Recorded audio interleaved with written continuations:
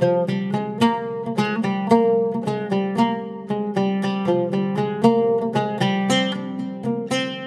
இன்னைக்கு ரொம்ப டேஸ்டியான மொறுமொருவான தட்டை ரெசிபி எப்படி செய்கிறதுன்னு பார்க்க போகிறோம் இது வந்து ஒரு பக்காவான ஈவினிங் டீ டைம் ஸ்நாக்காக இருக்கும்.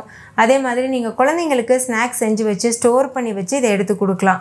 இது வந்து கெட்டு போகாமவும் இருக்கும். ஸோ கண்டிப்பாக ட்ரை பண்ணி பாருங்கள் வீடியோ படி அப்படியே பண்ணுங்கள் மொறு மொறுவா ரொம்பவே சூப்பராக கொஞ்சம் கூட எண்ணெய் குடிக்காம சூப்பராக வரும். ஹாய் ஃப்ரெண்ட்ஸ் வணக்கம். என் பேர் அபி. Welcome to Indian recipes Tamil வீடியோக்குள்ள போகிறதுக்கு முன்னாடி நம்ம சேனல் இந்தியன் ரெசிபிஸ் தமிழை சப்ஸ்கிரைப் பண்ணிக்கோங்க. கூட இருக்க பெல் சிம்பளையும் கிளிக் பண்ணிக்கோங்க.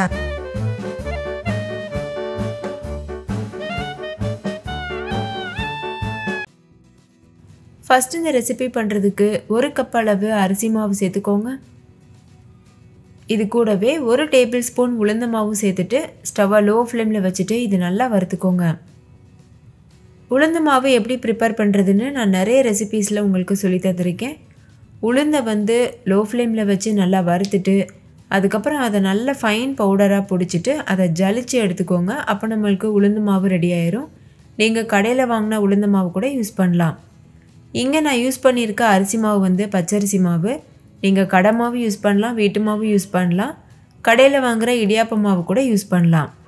கிராமில் சொல்லணுன்னா இந்த அரிசி மாவு வந்து நூற்றி இருபத்தைந்து கிராம் அளவுக்கு இருக்கும். ஸ்டவ்வை ஹை ஃப்ளேமில் வச்சிடக்கூடாது. முழுமையாக லோ ஃப்ளேமில் வச்சுக்கோங்க. அரிசி மாவோட கலர் வந்து சேஞ்ச் ஆகிடக்கூடாது இதோட கன்சிஸ்டன்சி எப்படி இருக்கணும்னா நம்ம கோல மாவு கன்சிஸ்டன்சியில் இருக்கணும்.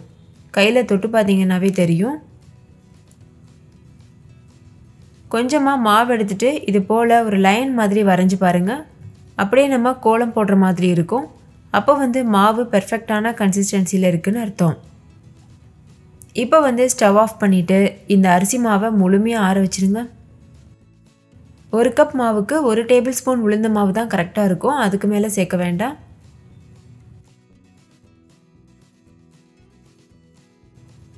இப்போ இந்த அரிசி மாவு உளுந்த மாவு ரெண்டும் நல்லா ஆறியிருக்கு. கொஞ்சம் கூட சூடு இல்லை. இந்த ஸ்டேஜில் இதில் ஒரு டேபிள் ஸ்பூன் கடலை மாவு சேர்த்துக்கோங்க. நீங்கள் கடலை மாவுக்கு பதிலாக பொட்டுக்கடலையை பவுடர் பண்ணிவிட்டு அந்த மாவு கூட சேர்த்துக்கலாம். ஆனால் அதில் கொஞ்சம் கூட கப்பி இருக்கக்கூடாது. ஜலிச்சிட்டு சேர்த்துக்கோங்க. இது கூடவே ஒரு டீஸ்பூன் மிளகாத்தூள் அரை டீஸ்பூன் உப்பு கால் டீஸ்பூன் பெருங்காயத்தூள் ஒன்றரை டேபிள் ஸ்பூன் பொட்டுக்கடலை கொஞ்சமாக கருவேப்பிலை சேர்த்துக்கோங்க. கருவேப்பிலையை ரெண்டு மூணாக கட் பண்ணிவிட்டு சேர்த்துக்கோங்க. இது கூடவே ஒன்றரை டேபிள் ஸ்பூன் பட்டர் சேர்த்துக்கோங்க. பட்டர் வந்து ரூம் டெம்பரேச்சரில் இருக்கணும். நல்ல சாஃப்டாக இருக்கணும். அப்படி சாஃப்டாக இல்லாமல் ஹார்டாக இருந்ததுன்னா நீங்கள் உருக்கிட்டு கூட சேர்த்துக்கலாம். நீங்கள் பட்டருக்கு பதிலாக இந்த இடத்துல நெய் கூட யூஸ் பண்ணலாம். இப்போ இதை நல்லா கலந்துக்கோங்க. நம்ம சேர்த்துருக்க பட்டர் வந்து மாவோட எல்லா பகுதியிலையும் படணும். அந்த வரைக்கும் நல்லா இது போல் மிக்ஸ் பண்ணிக்கோங்க.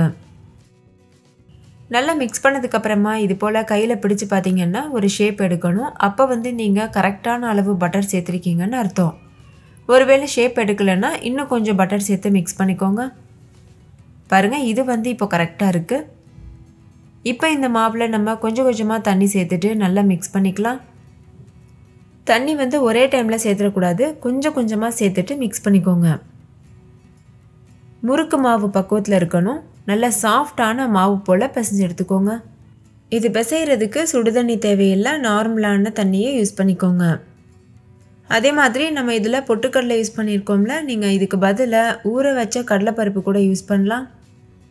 இப்போ பாருங்கள் இதோட கன்சிஸ்டன்சி இந்த அளவுக்கு சாஃப்டாக இருக்குது இது வந்து பெர்ஃபெக்டான கன்சிஸ்டன்சி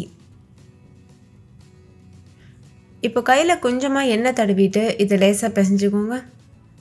பாருங்கள் இந்த மாதிரி. பிசைஞ்சதுக்கப்புறமா சின்ன சின்ன உருண்டைகளாக உருட்டிடுங்க இப்போ பாருங்கள் எண்ணெய் ஊற்றி பிசைஞ்சதுக்கப்புறமா இன்னுமே நல்லா சாஃப்டாகி இருக்குது இப்போ இதிலிருந்து ஒரு சின்ன லெமன் சைஸ் அளவுக்கு மாவு எடுத்துக்கோங்க. இந்த அளவு இருந்தால் போதும். இதை கையில் வச்சு நல்லா உருட்டிக்கோங்க. நல்லா உருட்டினதுக்கப்புறமா லேசாக இது போல் தட்டிக்கோங்க.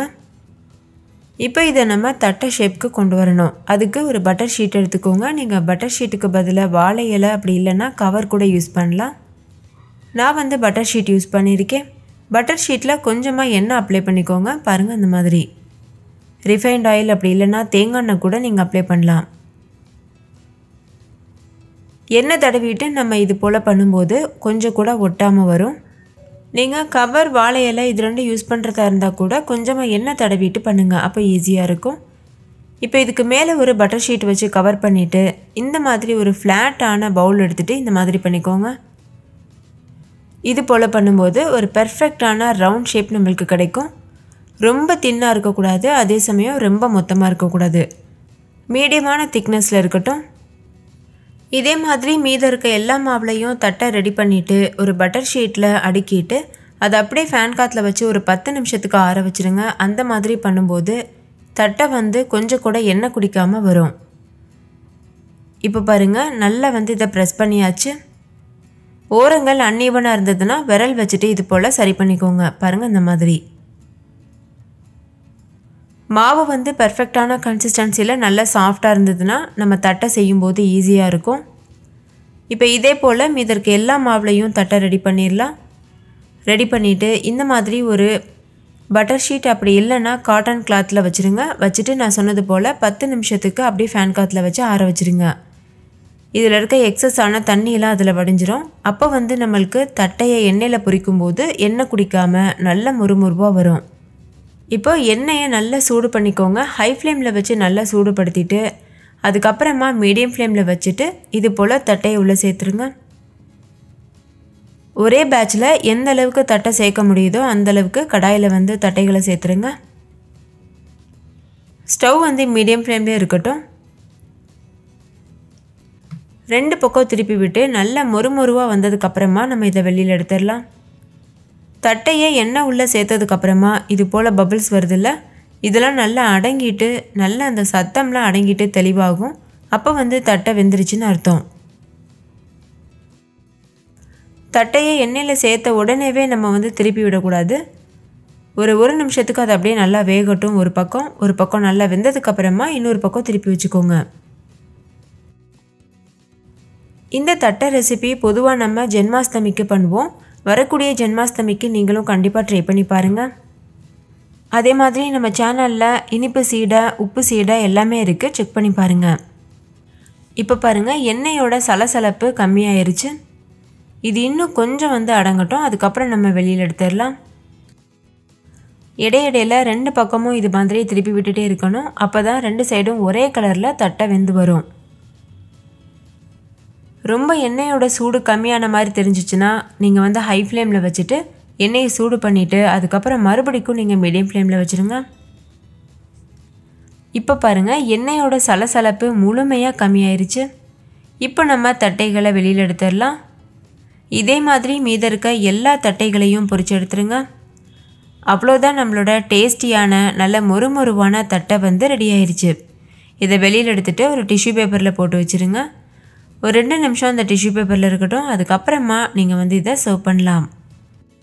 நீங்கள் இதை ஸ்டோர் பண்ணி வச்சு கூட சாப்பிடலாம். பதினஞ்சு நாள்லேருந்து இருபது நாள் வரைக்கும் கூட கெட்டு போகாமல் இருக்கும். மொறுமொறுப்பு தன்மை மாறாமல் இருக்கும். ஆனால் இது நல்லா ஆறுனதுக்கு அப்புறமா ஒரு ஏர்டைட்டான கண்டெய்னரில் போட்டு ஸ்டோர் பண்ணி வைங்க. அப்போ தான் கெட்டு போகாமல் இருக்கும். சூடோடவே நம்ம கண்டெய்னரில் வச்சோன்னா அது வேர்த்துரும். அதுக்கப்புறமா தட்டை கெட்டு போகிறதுக்கு சான்ஸ் இருக்குது ஓகே ஃப்ரெண்ட்ஸ் நீங்களும் கண்டிப்பாக இதே மெத்தடில் ட்ரை பண்ணி பாருங்கள் நான் இந்த வீடியோவில் சின்ன சின்ன டிப்ஸ் அண்ட் ட்ரிக்ஸ்லாம் ஷேர் பண்ணியிருக்கேன்.